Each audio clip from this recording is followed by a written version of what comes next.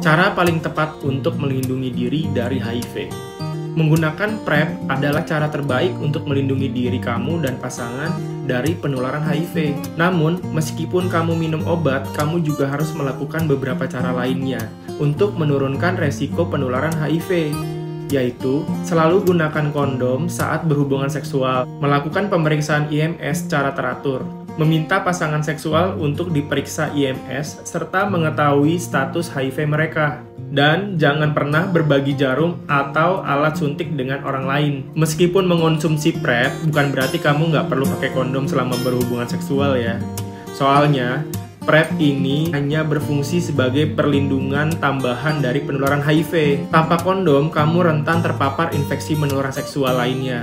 Jadi, PrEP adalah alternatif tambahan untuk mencegah infeksi HIV, bukan untuk menggantikan metode perlindungan lain seperti menggunakan kondom.